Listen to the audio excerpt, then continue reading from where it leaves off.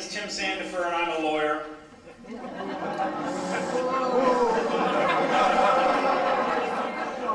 I sue the government for a living. Best job in the world. I would do it for free if I had to. And in fact, I do do it for free. I work for the Pacific Legal Foundation, a nonprofit uh, legal organization headquartered in Sacramento, which is devoted to defending uh, individual rights, economic liberty, private property rights, uh, sensible environmental policy, racial equality, and so forth in the courts across this country. Pacific Legal Foundation is also the most active organization in the country devoted to opposing Obamacare in the courts. We have filed uh, more than 10 briefs in courts in, I believe, I believe five or six courts now, in uh, all sorts of different cases on all sorts of different issues, because the individual mandate is not the only issue involved in these cases. And we represent um, Matt Sissel, an individual uh, lives in Iowa. He's a decorated Iraq War veteran and an artist. He's actually quite a talented artist. And he decided to open up a, an art studio where he does portraits um, that actually look like people. He's a young artist, but his drawings, you can understand what they are. Um, and, uh, but unfortunately, because the federal government has decided to force him to buy health insurance he doesn't need, he's having to take money away from his small business dream that was supposed to provide for him and his family as he saw fit and devote it to buying health insurance because the federal government thinks that he should have it. Now, as you know, the issue before the U.S. Supreme Court right now is whether or not it is constitutional for the federal government to force you to buy a product or service, whether or not you want to, because government thinks it would be a good idea. Now, the, the, why are they actually forcing you to buy the insurance? This is a point of dispute. The actual answer is to subsidize insurance companies that are forced against their will to insure people who are already sick. I think it needs to be emphasized that it is unjust for the federal government to force insurance companies to provide insurance for people whether, against their will. People have the right to freedom of contract, and insurance companies have the right not to make an agreement with somebody if they don't want to. The problem here is that the federal government forced insurance companies to insure sick people, which makes no more sense than forcing fire insurance companies to insure people whose homes are already on fire. And then because that costs so much money, decided to subsidize the insurance companies by forcing you to buy their product, whether you want to or not. But the government's position is, oh no, that's not what we're doing. No. All we're doing here is we're forcing people to pay ahead of time for the health care that they're going to eventually receive. We all need health care at some point, so the government's just saying that you have to pay for it now instead of later. The problem with that, just as a practical matter, is that's not true. Uh, you are not required to use the insurance that you buy when you go to the doctor. In theory, under this law, you can still pay with cash, right? Um, and you have to get uh, you have to get coverage. You have to get health insurance coverage for, for things you'll never need or are extremely unlikely to need. And most importantly, the insurance purchase requirement doesn't apply to those people who are most likely obtain health care without paying for it. It doesn't apply to the indigent or illegal immigrants, who are the most likely people to obtain doctor coverage without having anything to pay for it. So, so much for the Obama administration's claim that all it's doing is requiring you to pay ahead of time for insurance that there for health care that you're going to need. But aside from that, the question before the court is whether this is constitutional. Now, I'm sure you all brought your constitutions with you, so if you'll take those out. It's always a dangerous joke with a crowd like this, because some of you probably do it I always bring my handy iPhone Constitution app. Very handy in court whip this out and the judge, where's the, the Constitution? Just a second. The Constitution of the United States allows Congress to regulate commerce with foreign nations and among the several states and with the tribes. And that is the clause under which the federal government claims authority to force you to engage in commerce. I'm not making that phrase up. That is the phrase that Justice Breyer used in the oral argument in this case. He said that the Commerce Clause allows government not just to regulate commerce, but to create commerce, to force you to engage in commerce. Now, For one thing, here's how you think like a lawyer, like a good lawyer.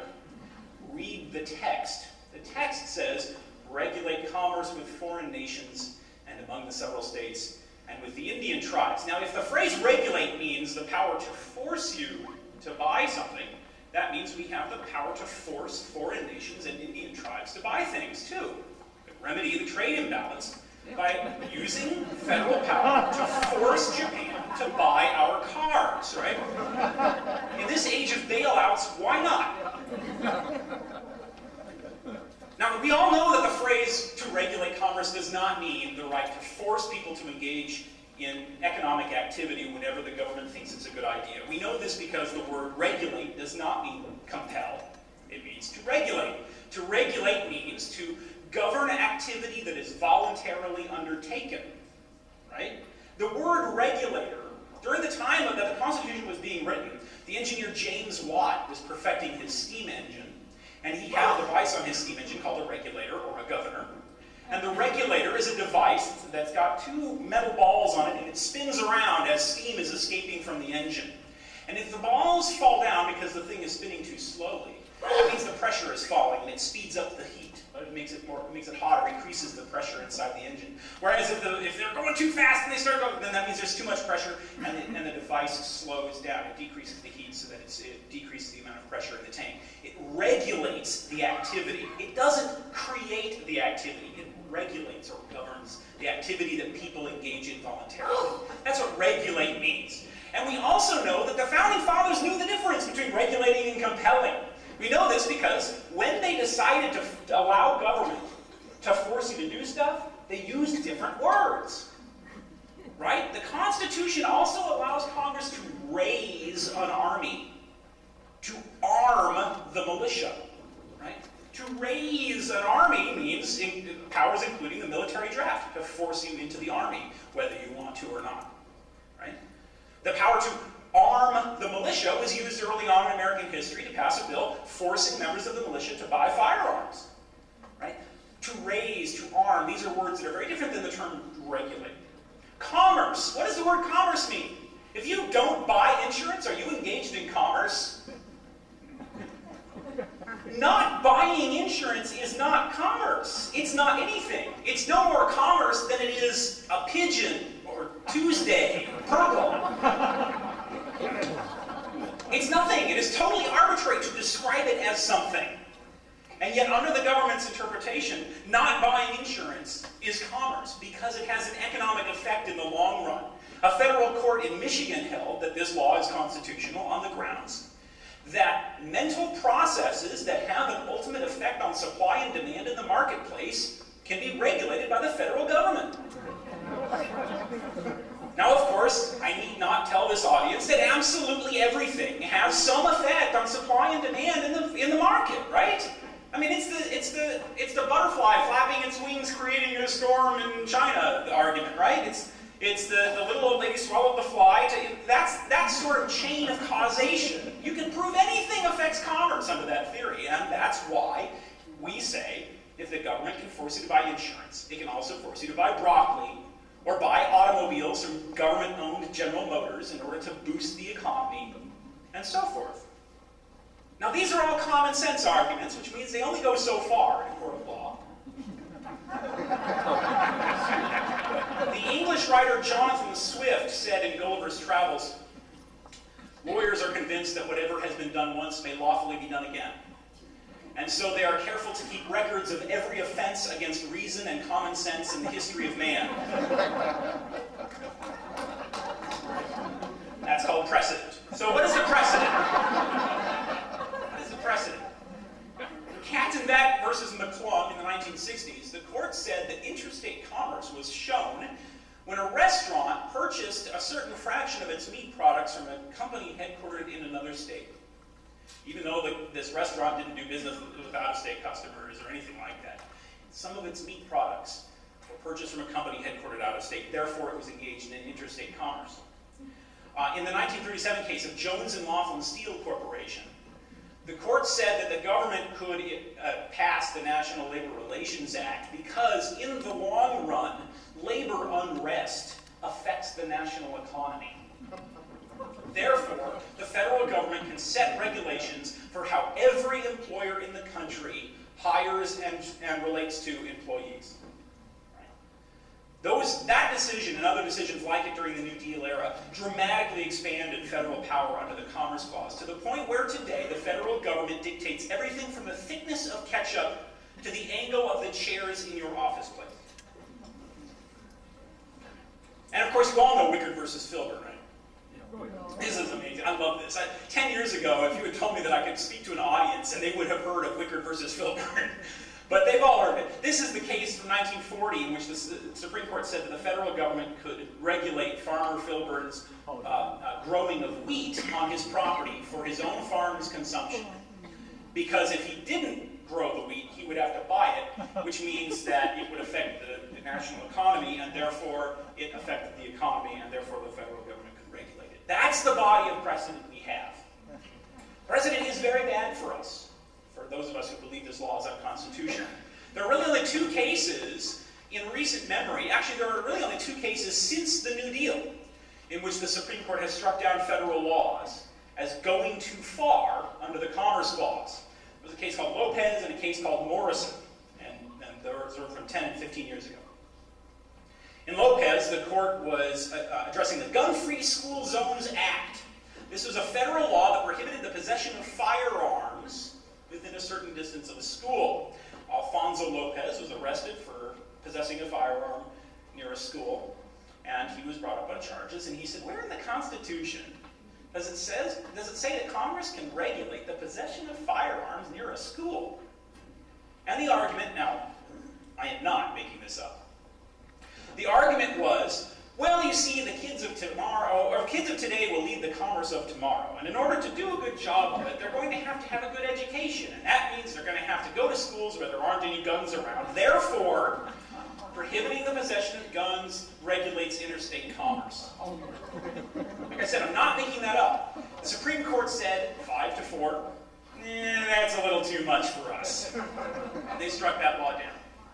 Five years later, in Morrison, the Supreme Court struck down the Violence Against Women Act, which was a federal law that, among other things, allowed women to sue their rapists in federal court.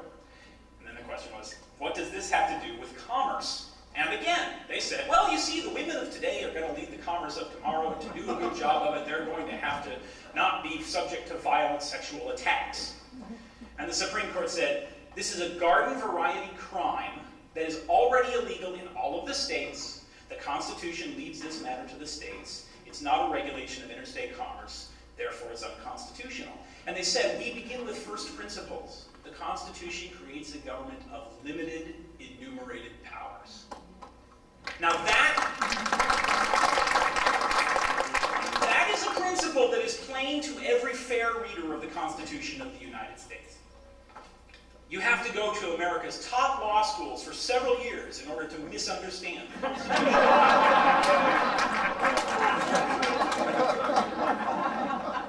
it's a four-page document that was written for you and me. It was not written as esoteric instructions to an enlightened minority. And what it says, in Article 1, Section 1 of the Constitution, it says, all legislative powers herein granted are vested in the Congress of the United States.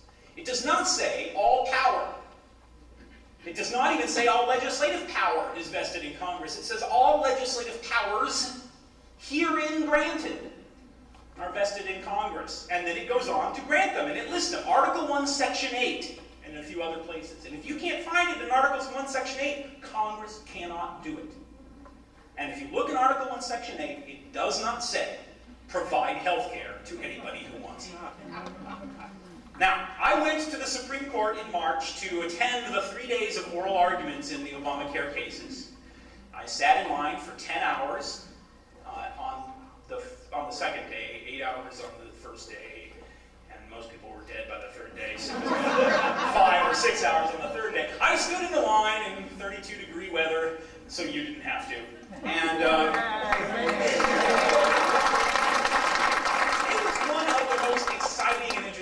I've ever seen in my life. it was really a thrill.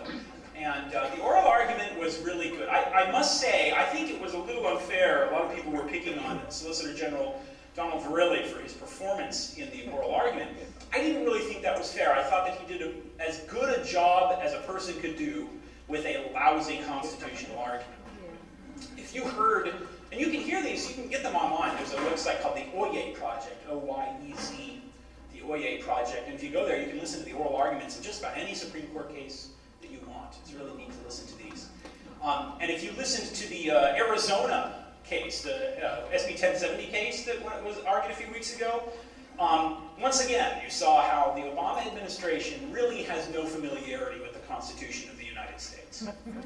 Um, and what Solicitor General Verrilli argued, uh, the highlight for me, I think, on the, on the day of the individual mandate argument was when somebody said, when, when Chief Justice Roberts said, can the federal government force people to buy cell phones? Because after all, you might be in a car accident or, you know, be out hiking and get lost or something, and, you know, and you might need help. And, you know, and, and God knows it, it costs people money to send out search and rescue teams for you or send paramedics or whatever. So maybe the federal government can regulate commerce by forcing everybody to buy a cell phone.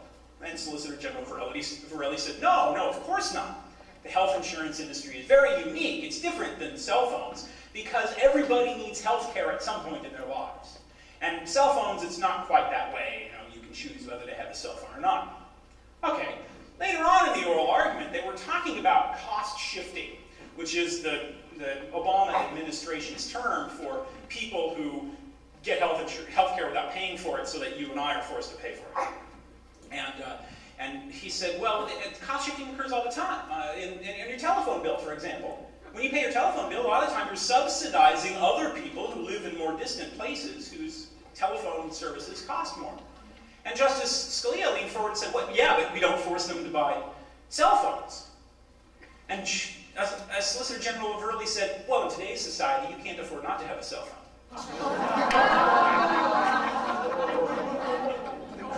Look it up if you don't believe me, he said. This is why I can't be a Supreme Court justice. I would go, aha! Our side is not asking for a lot in these cases. We are not asking, as the administration and its supporters would claim, for a dramatic rewriting of American constitutional law. On the contrary, we're asking for the court simply to stick to what it's already said. Yeah, the government can do anything it wants when it's regulating the economy, but it can't go the next step and force you to engage in a, in a commercial agreement and buy something you don't want. that's all we're saying. It's not an extreme position. In fact, it's the least extreme position I have ever taken. and I left the court pretty optimistic about how that's going to go. I think the argument went very well for our side. I think it was very clear that if the court is going to uphold this mandate, they're going to see it as a dramatic step away from what the Founding Fathers thought, away from a document that gives federal government limited enumerated powers. The question is, are they prepared to take that step? Four of the justices clearly are. Certainly Justice Breyer, who said during the oral argument that he thinks that the federal government can create commerce under the Constitution. My copy of the Constitution doesn't have that word, but that's what he said. Now that's only one issue. That's the main, that's the main attraction in the Obamacare cases. But there's some other very interesting issues involved in these cases. To me, as a Constitution nerd, one of my, one of my, uh, one of the cases I'm interested in is the question about whether states even can sue in the first place. As you know, this case, more than half of the states are plaintiffs challenging the constitutionality of this law. So then the question is, can the states even sue in the first place? You may know a lot of states passed laws called uh, the called Healthcare Freedom Acts. That, for instance, Virginia passed a law, the Health Care Freedom Act, that says no person shall be compelled to buy health insurance.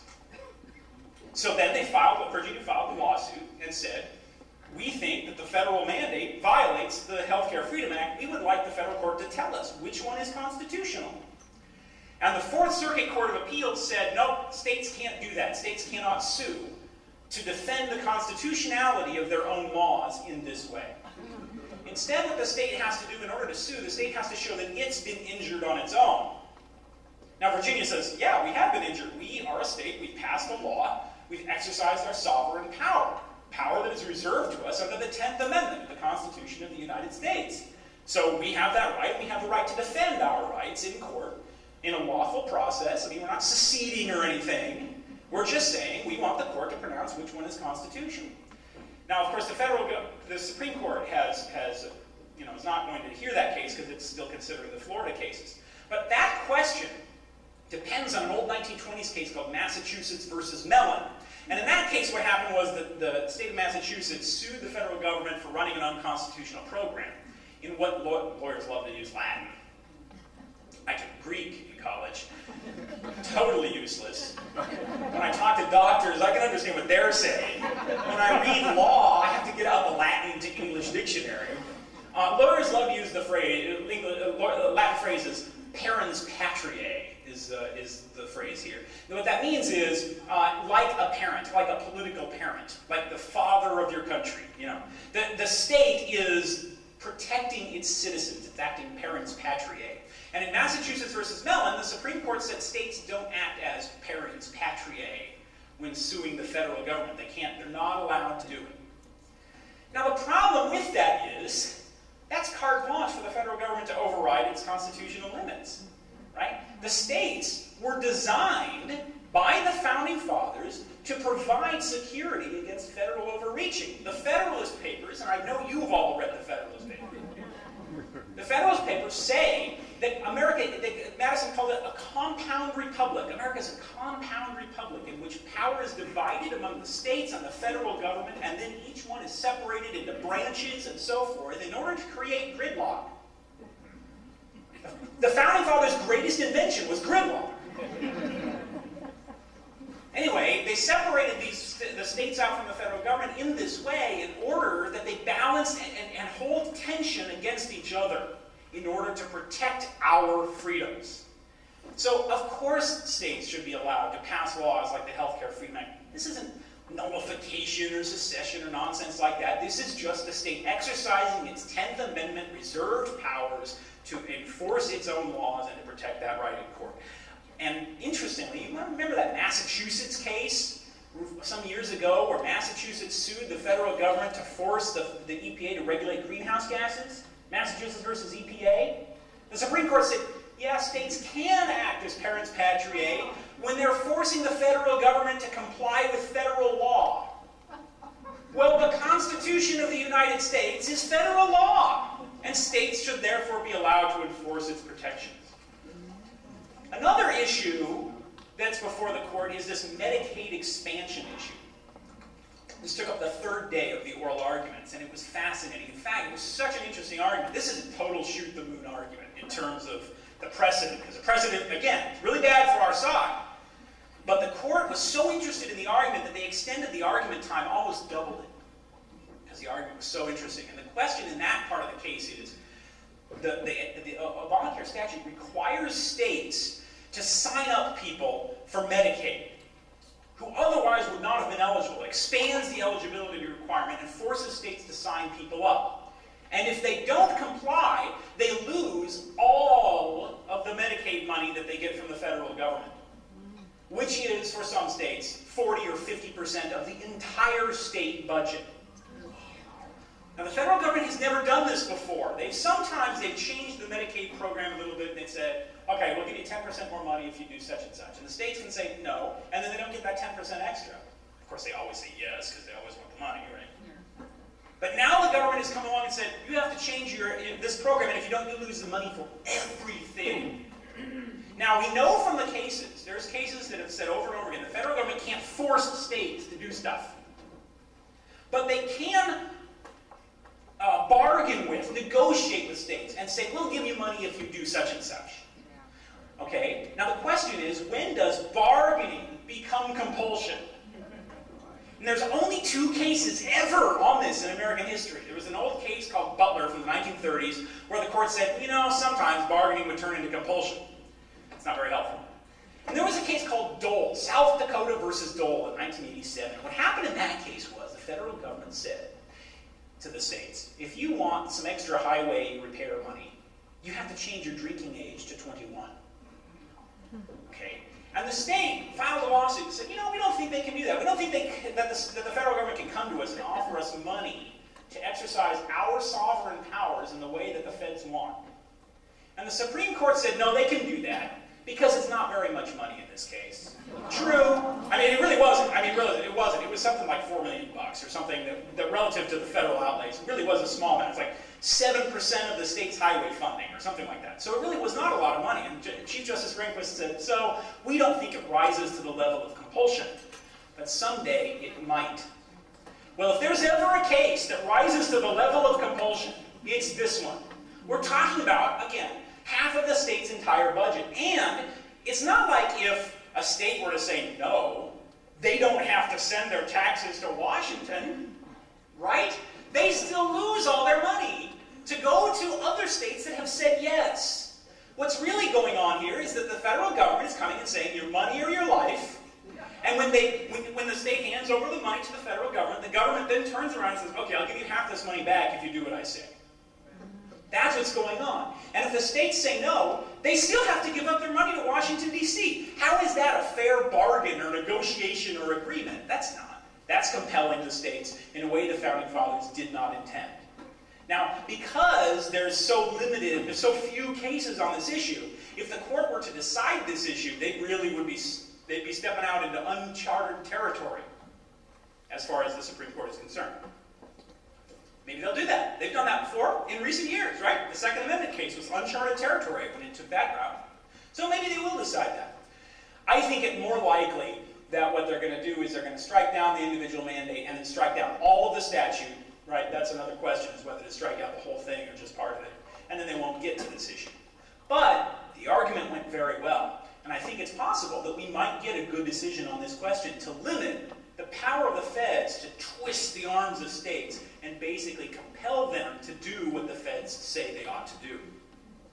What I thought was most interesting about that argument was at the very end, because it was the last day, the third day, we were all so exhausted that everything seemed hilarious to us.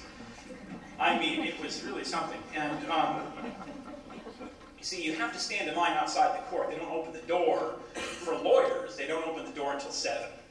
Then you have to stand in another line until, until 10 when you get to go into the courtroom and finally sit down. You're not allowed to sit down inside the Supreme Court building.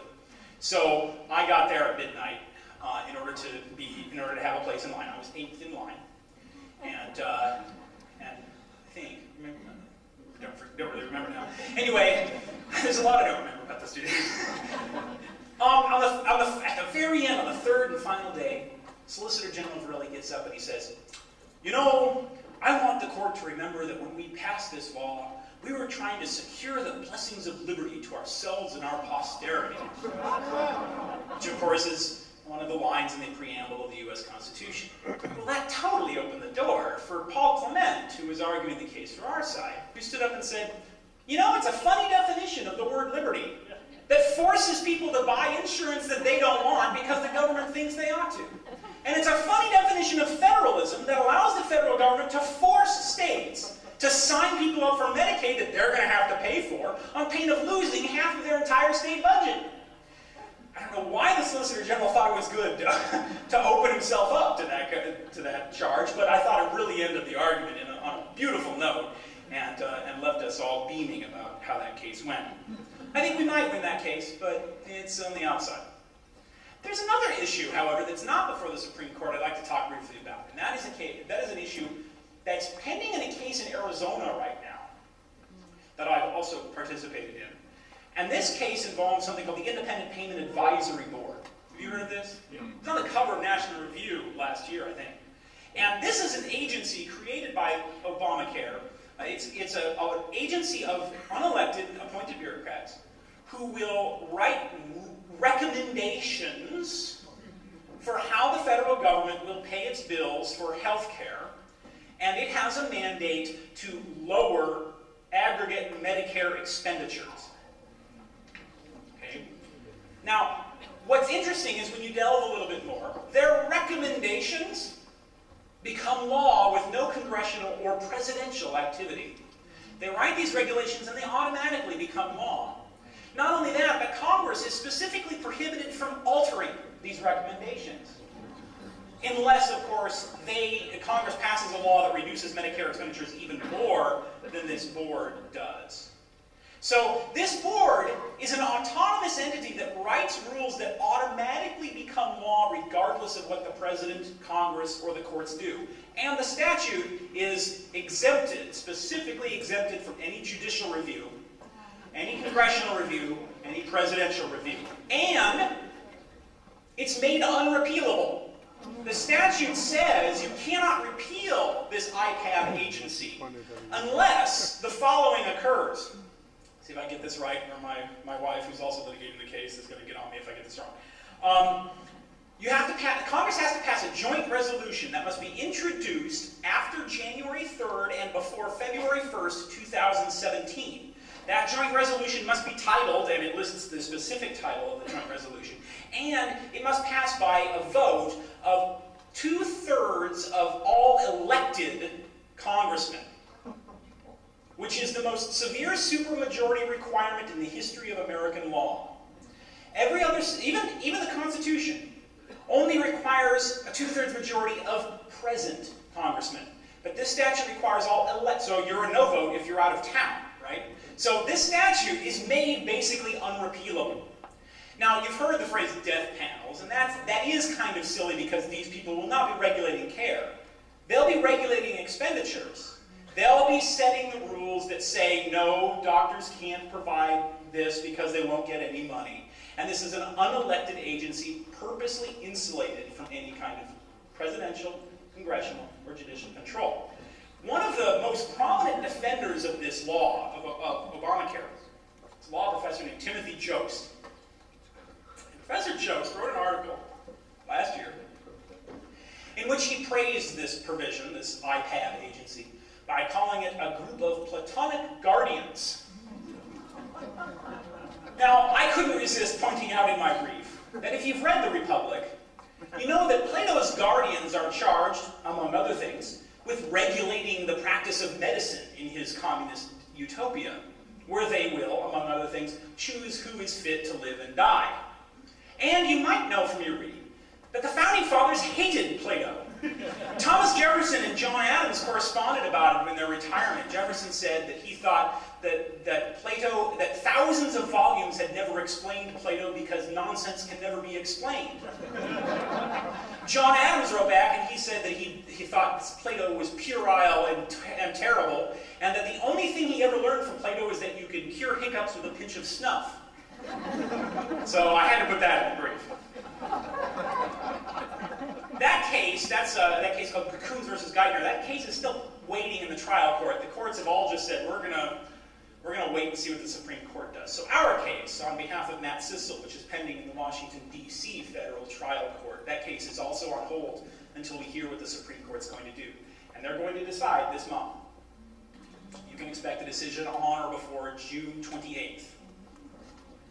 I mean, there's an outside chance that they could hold it over past that, but they almost certainly will not do so. What do we do if we win this case?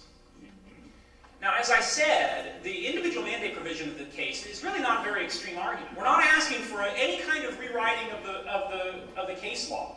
We may think that Wickard versus Filburn was stupid, but you don't have to overrule Wickard versus Filburn to rule in our favor, because even Wickard didn't say you could force people to buy insurance, right? It didn't say you could force people to do things at all. It just regulated how they do things.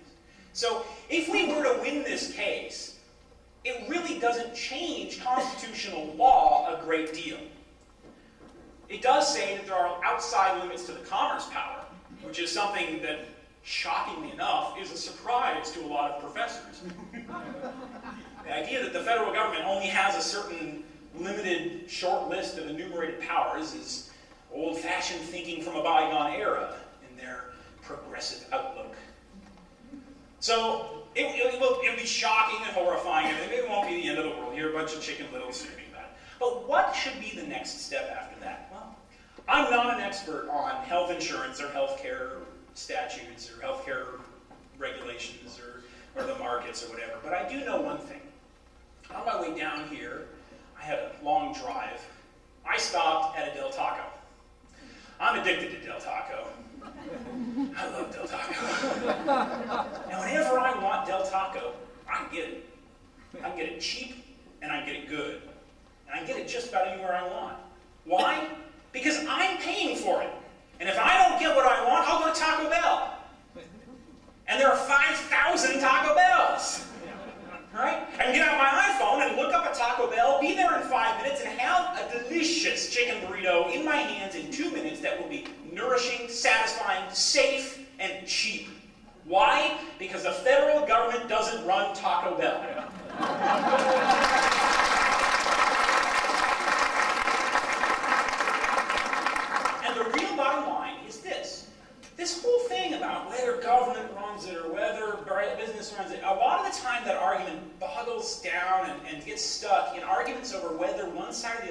virtuous.